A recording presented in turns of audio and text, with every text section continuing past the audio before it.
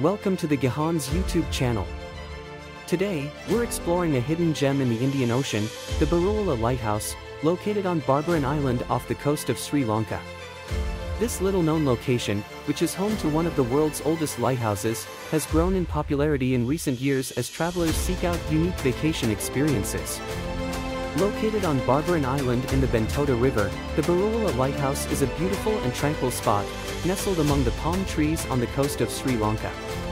Built in 1841 by the British, the lighthouse is one of the oldest of its kind in the world and is a testimony to the colonial history of this part of the world.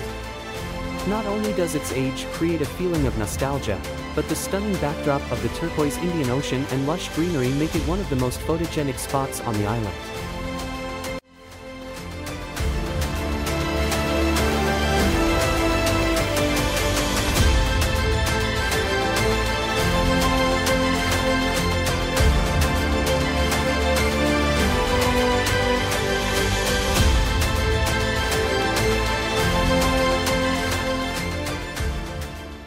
As you approach the lighthouse, you'll be amazed at the sheer size of this historic building.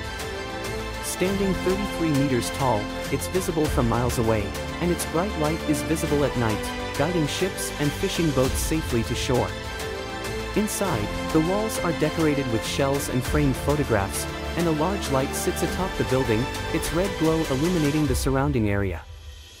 So, if you're looking for a unique and memorable experience on your next holiday, be sure to visit the Beruwala Lighthouse on Barberyn Island. With its stunning views and rich history, you're sure to be mesmerized.